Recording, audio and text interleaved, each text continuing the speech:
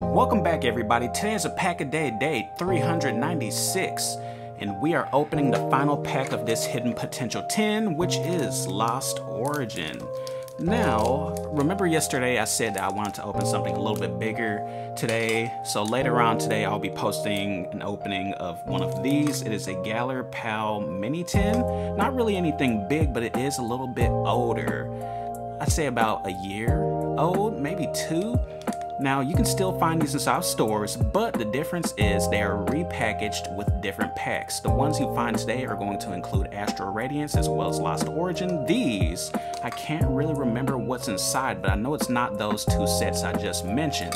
Let's go ahead and get into our pack for today, which is this Lost Origin, and see what we get. And we will be playing Guest the Energy, code card. If I'm right, then I get a bonus code card, well, a bonus energy. I keep messing that up.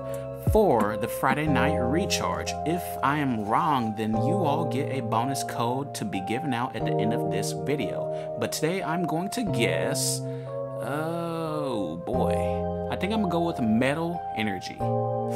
Lightning, something in my head was telling me to choose lightning, but I, I did not go with my gut.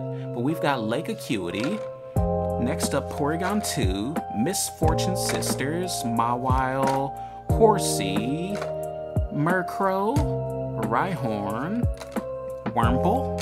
A reverse is a Shuppet. And please, RNGs, please, can we end on something good? We've got a